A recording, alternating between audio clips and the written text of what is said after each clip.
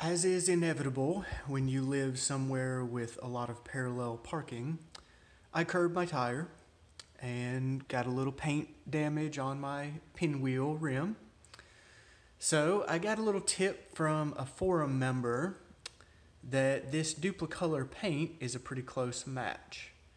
And it cost about $14 on Amazon. So I decided I'll give it a shot. So we'll give her a little touch up here. And if I really wanted to do this right, I could get Bondo and fill it.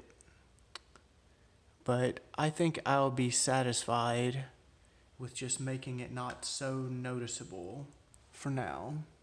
I'll let that dry after this and I'll let you know how it comes out. So here we are about an hour later. The paint has dried and I'm pretty impressed with it.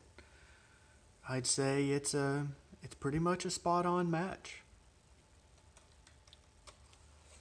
So like I said, I'll post a link to this in the description and if you guys would like to pick some up, Amazon has it for $14 and I think it does a pretty good job.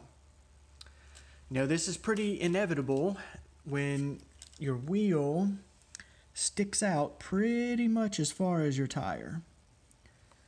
So all it takes is just getting a little bit too close to a curb and there you have it.